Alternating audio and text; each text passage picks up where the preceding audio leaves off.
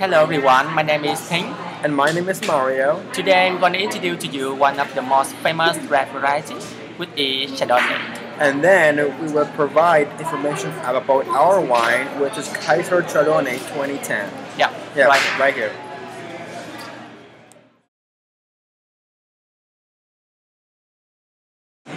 Chardonnay can be described as a green-skinned red variety which is used to produce white wine.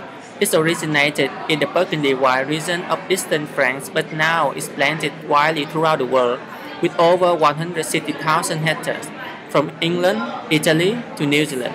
Chardonnay lends itself to most any style of winemaking from dry still wines to sparkling wines to sweet late harvest. Kaiser Chardonnay is a barrel fermented in subterranean gravel floor barrel rooms and is aged in those same barrel, remaining for 11 to 18 months until bottling. Because of its full-bodied oaked aged kind of wine with a long pear and coconut finish, there are a variety of foods that can pair up well with such as fine rich fish like turbot, grilled veal chops with mushrooms, late summer vegetables such as red peppers, corn, butternut squash, and pumpkin and cheddar cheese. Well, very simple because it's excellent.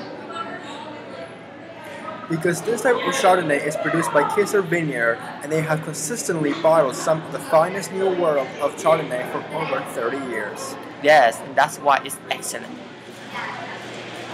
Well, the price is very cheap for the rich, but very expensive for the poor.